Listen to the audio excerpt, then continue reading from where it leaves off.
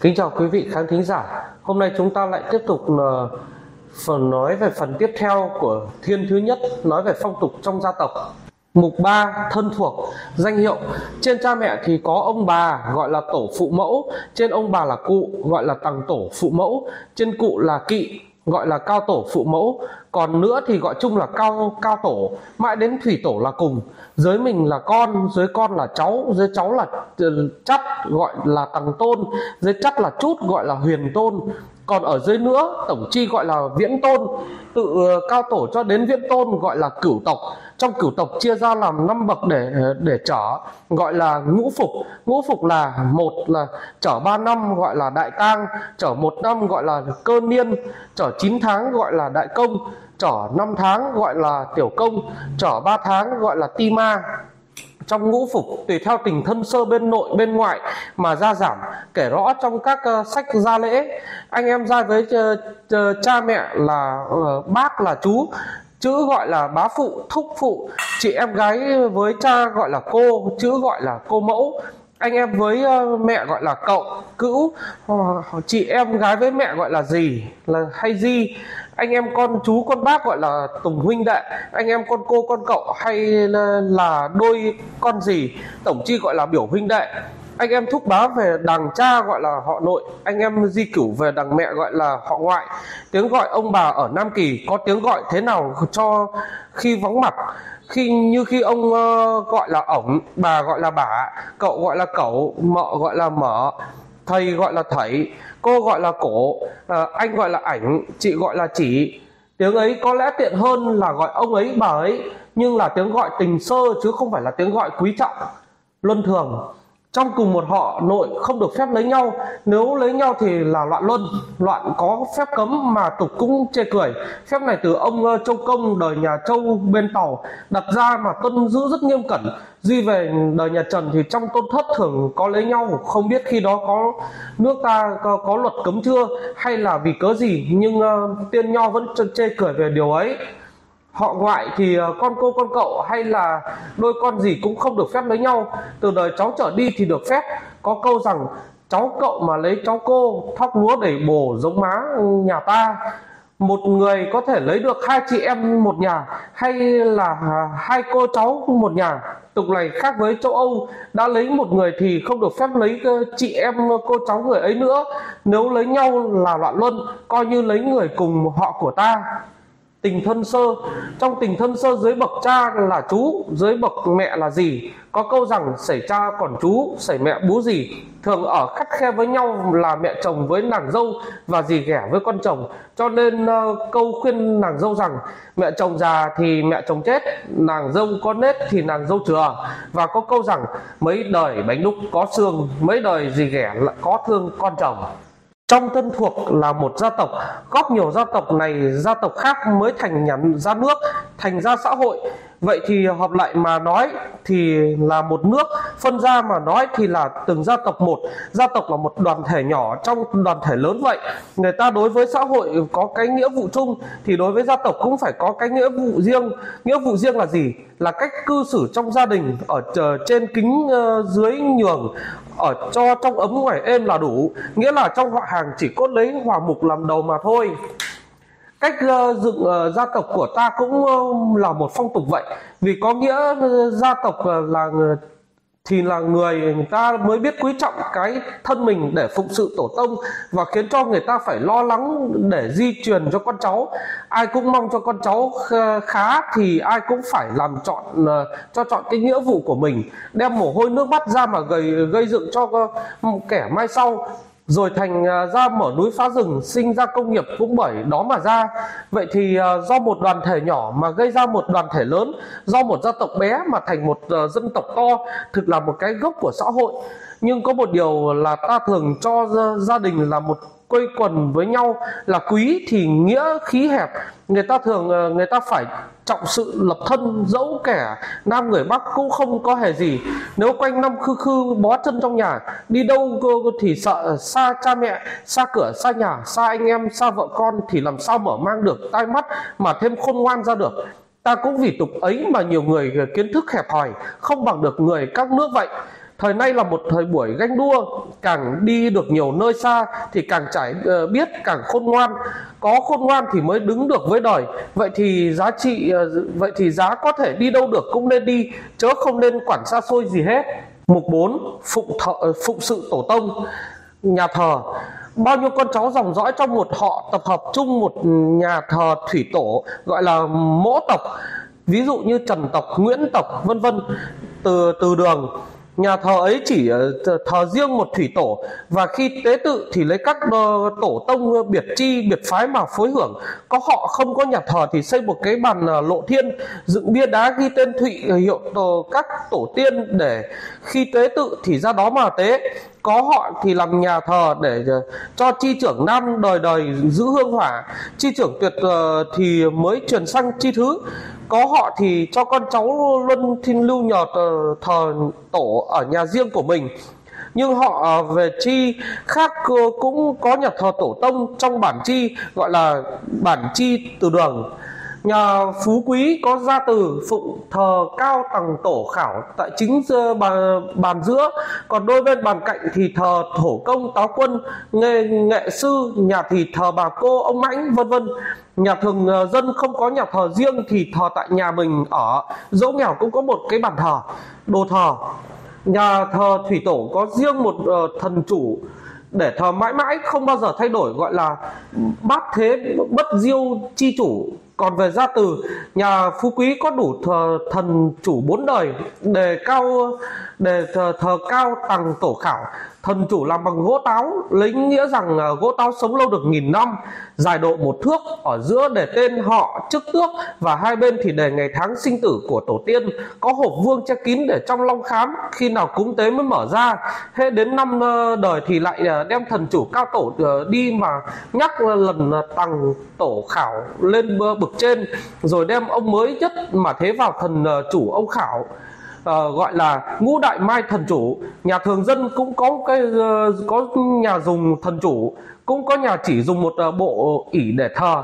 Đồ thờ phụng uh, thì đại khái nhà nào cũng phải có một bộ đèn nến lư hương bình hoa mâm quỳ mâm bồng cỗ đài rượu hộp dầu, nước, vân vân. Người thì à, dùng đồ dùng à, bằng à, đồ thiếc, người thì dùng đồ sơn son, thép vàng, thép bạc. Nhà nào giàu có, treo hoành biển khác là ba, bốn chữ đại tự và kèm theo đối liễn đôi bên bàn thờ hoặc khảm trai hoặc sơn thiếp nhà không có cũng treo hoành biển và đối liễn dán giấy. Đại ý trong chữ thì chỉ là ghi tụng công đức của tổ tông đồ thờ phụng, nhà càng giàu thì càng à, trang hoàng nhiều đồ quý. Nhà nghèo đến đâu cũng có được vài cây đèn à, nến sơn son vào một à, cái bình hương. Ta coi đồ thờ là tự, đồ thờ tự là đồ rất kính trọng. Không ai dám đem cầm, đem bán bao giờ. Nếu nhà nào nghèo quá phải cầm bán thì ai cũng chê cười gia phả nhà thờ nào cũng có một cuốn ghi chép theo thứ tự trước sau và họ tên chức tước ngày tháng sinh tử của tổ tông và người trong nhà gọi là gia phả. Gia phả thường ờ, dùng bằng giấy sắc viết tinh tả nghĩa là, lấy lòng kính trọng mà thờ tổ tiên vậy. Nhà đại gia thì ờ, gia phả ghi chép cả công nghiệp sự sự trạng của tổ tông mà táng tại đâu cũng có ghi vào quyển gia phả tức như một quyển sử ký trong nhà gia phả để lại uh, tại nhà thờ. Cũng có nhà in ra phát cho mỗi chi một bản để cho con cháu được biết sự tích của tổ tông ruộng kỵ. Một họ, họ hoặc một chi đã có nhà thờ thì có ruộng kỵ. Ruộng ấy là hương hỏa của tổ tiên để lại hay là trong dòng họ chung nhau mà tậu hay là của người trong họ cúng để lấy hoa lợi mà chi về việc tế tự có họ có người con gái đi lấy chồng không có con cúng tiền cúng ruộng về để họ may hậu họ nhận uh, lấy ruộng ấy làm ruộng kỵ rồi uh, cũng phải thờ phụng người ấy vào trong nhà thờ. Họ nào không có ruộng kỵ thì mỗi lần cúng tế phải đóng tiền góp gạo với nhau. Tế thủy tổ mỗi ờ, năm về ngày húy nhật ở ông thủy tổ, cả họ họp mặt lại tại nhà thờ, dùng là lễ tam sinh hoặc tùy họ ờ, to họ nhỏ mà dùng ờ, bò hoặc lợn để tế tổ. Tế xong làm cỗ, bàn ăn uống vui vẻ với nhau. Mỗi tiết thanh minh thì cả họ rủ nhau đi đắp mồ mả. Nhiều họ đắp mả to gần bằng núi. Có họ đắp xong thì tế thì ngay tại mà tổ. Có họ thì đem về nhà. Các tuần các tiết cũng có cúng nhưng chỉ ờ, nhà trưởng nam cúng mà thôi. Đến tháng chạp lại có một tuần họp ờ, tế các tổ công tông trong họ thì họ là lại họp đông như khi có dỗ tổ. Trong ờ, uh, 3 ngày Tết Nguyên đán con cháu trong họ đem dầu cao đến nhà thờ tế tổ chứ không ăn uống gì cả cúng vái gia tiên. Mỗi tuần tiết hoặc ngày kỵ, hoặc mùa có của mới, gạo mới, hoặc khi có việc hiếu hỉ, việc to, việc nhỏ, nhà ờ, kiệm, nhà phong, hoặc dùng bò lợn, dê gà, hoặc là một vài mâm cỗ, hoặc ờ, dùng ờ, đồ hoa quả, bánh trái. Ờ, hoặc thủ lợn mâm xôi hoặc uh, bát cơm cái trứng. Con cá bát canh tùy thế nào cho tiện thì thôi.